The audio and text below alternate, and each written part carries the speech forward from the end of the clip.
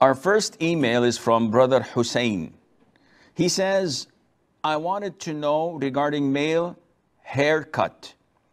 Islam Q&A says that it has to be the same length, etc., which I believe is also a Salafi site said it can be different lengths.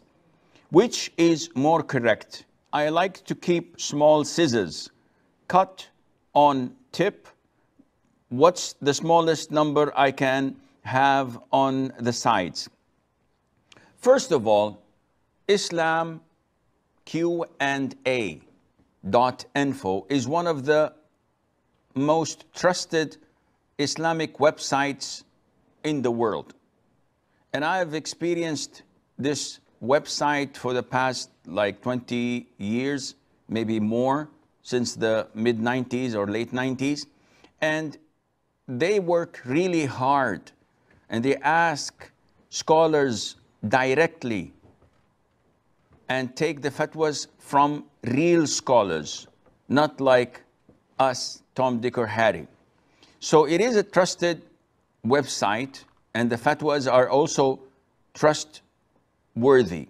However, in so many cases, the issue is with our understanding or in comparing apple to apple.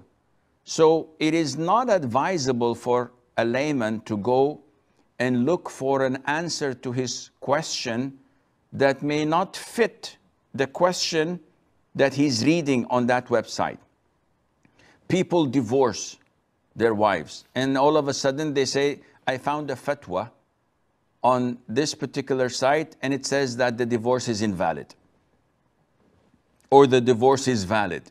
Not knowing that there is a little difference between your situation and the situation of the person who asked the question in the first place.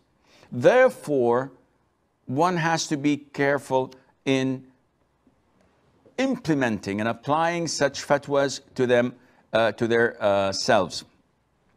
Now, the question that we have here at uh, um, from Hussein, of course, we have the um, link or the title of islamqa.info, which I highly recommend people to visit it on regular basis because it is a great source of information and to learn about Islam from such website.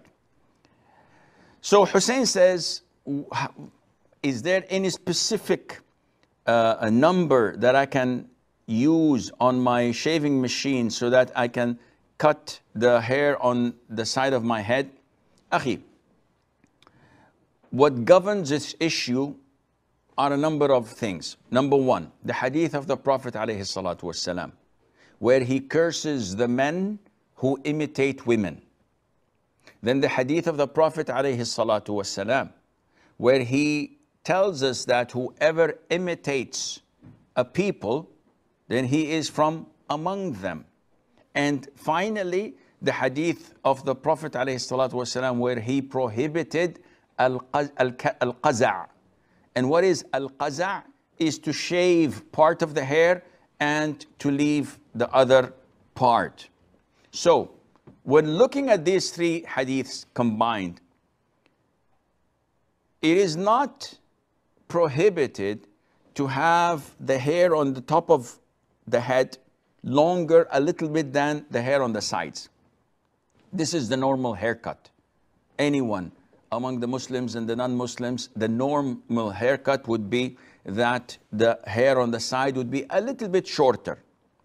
What is prohibited if someone comes and he shortens it to the skin, like the Marines when they have their haircut, they do it this way. They have the top longer, but it's almost shaven on the sides. This is prohibited. Why? Because this is imitating the kuffar, the disbelievers. Plus, it is qaza. If someone wants to make a, a mohawk haircut, like Mr. T, for example, also this is haram. This is qaza, clearly. If someone wants to grow his hair long and has a ponytail in a way that is feminine. He has no beard, he has nothing, but he just likes to uh, uh, uh, have a long hair like the kuffar or the women. This is also prohibited. Some football players may come and have weird haircuts. So probably you find someone just shaving a line on the top of his head or on the side of his head while the other hair is normal, but he just has a line here uh, uh, shaven. Of course, this is haram. This is qaza' which the Prophet prohibited alayhi salatu wasalam. Unfortunately, I was told that some Muslims may do such haircuts. As a Muslim, I have an identity. And my identity does not require you to wear this ghutra which I'm wearing on my head. It doesn't require you to wear a thobe, the white thobe, which is the long shirt that I'm wearing. No, no, this is not part of the identity.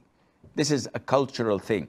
The identity is to be identified as a Muslim by not following the footsteps of the disbelievers. So, shaving your beard is totally prohibited in Islam. This is part of your identity, and it's mandatory and obligatory to grow it having a normal hair cut is part of your identity because when once you do something that is not normal, then you have uh, um, changed your route into a different path, which is not the straight path. So normal haircut is okay. But if you put these hadiths that I had mentioned in mind, and before you make a haircut, you ask and consider. In this case, inshallah, you will be uh, safe.